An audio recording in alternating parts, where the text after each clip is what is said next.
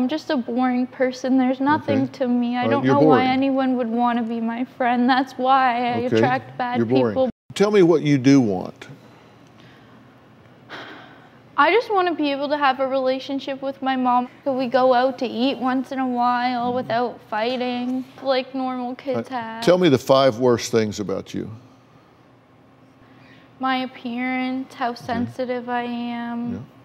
I do have a bad temper sometimes. Okay, you don't like that. What else? I can never be friends with someone for too long or, or, or be in a relationship with someone for too long. It Not always, good at relationships. What else? um, I don't know. I'm just a boring person. There's nothing Okay. to me. I right, don't know why anyone would want to be my friend. That's why I Okay, attract bad boring. people. But I do have some good friends. Like, I don't want to hear about them. I'm talking about you. So now tell me the five best things about you.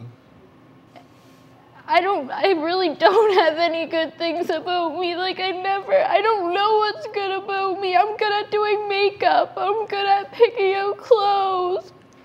I don't know any good things about me. Like, I've always been put down to the lowest by everyone, but mostly by my mom. I think mostly by yourself. Tell me the five best things about your daughter. Cassidy is, she is loving. Cassidy is, ha, you have a good personality. You, you make people feel comfortable. I think that you have a lot of potential. You just can't see it. I mean, you're a- beautiful. Um, you know, I, Those are both good ones. That, that she has potential. That is a good thing, and you know, and she is beautiful. You're right. And what's another thing? I mean, it, it, So if I have all of these No, whoa, things whoa, whoa, going whoa, for me- whoa. I'm, at, I'm talking to your mother. Sister friend. Go ahead. Um, you know, and I think you're talented too. I, I want to tell you what I, I think is is going on here. First off, I, I think you have abdicated your role as a parent.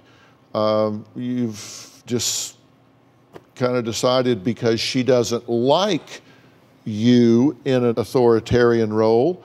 You said she doesn't like that, she hates that, so you just said, well, I'll, then okay, then I'll be your friend. Uh, the thing about parenting is it's not a popularity contest. That's not your job. Your job as a parent is to prepare your child for the next level of life. I mean, if they're four or five years old, you're to socialize them where they are independent enough to go to kindergarten. And if they're in school, then you're to prepare them enough where they're independent enough to go away to school or to get a job. And then you prepare them enough to go marry and have a family or do whatever they want. Your job as a parent is to prepare your child for the next level of life.